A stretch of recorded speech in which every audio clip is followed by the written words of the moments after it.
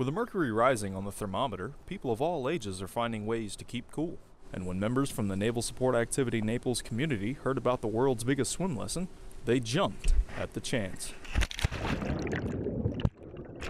The event that we had today was the world's largest swim lesson. We were participating as an official host facility for a world record attempt, a Guinness Book of World Records attempt. Uh, last year they did this event. They had 32,000 people at a bunch of facilities worldwide doing a simultaneous swim lesson. With a record attempt on the line, a major focus of the event was proper swimming techniques. I think swim lessons are important to give children um, water safety and confidence in the water, and also to enjoy swimming. Enjoying the water during the summer can be a fun activity for kids, and for Debbie, one of her main priorities is that they do it safely.